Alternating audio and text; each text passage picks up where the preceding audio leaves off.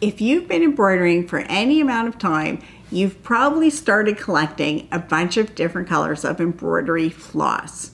And once you have it, what's the best way to store it? Well, my favorite way to store it is by wrapping it on these little cardboard bobbins and then storing it in these cases that are specifically designed for that. Now, the reason I like these bobbins is because they're inexpensive, they're easy to use, they have a hole in them so that you can take whatever floss you're using for your project and you can put it on a ring to keep them all together.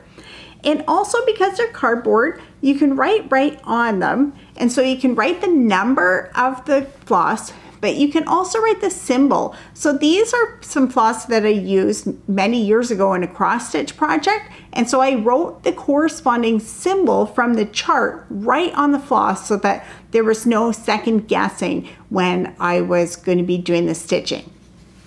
Now, when you're storing your floss in the container, the big question comes up, do you sort it by number or do you sort it by color? And there are different opinions on this. I come down strongly on the opinion that I will sort them by number. And the reason for that is because if I open my box and I'm looking for something blue, I can clearly scan this and see blue, blue, blue, blue.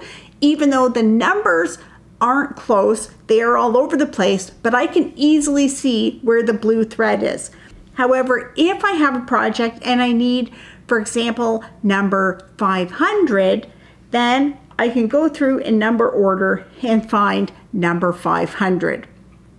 If these were sorted by color, I would have no idea where number 500 was, and I would have to try and guess which color was the closest to that, and it would be much more difficult to find. So although there are different opinions about this, I'm strongly on the side to sort by number and not by color. However you sort your embroidered floss, I'm sure you're going to enjoy using it in all your stitching projects. For more embroidery tips, tutorials, and inspiration, be sure to follow Epida Studio.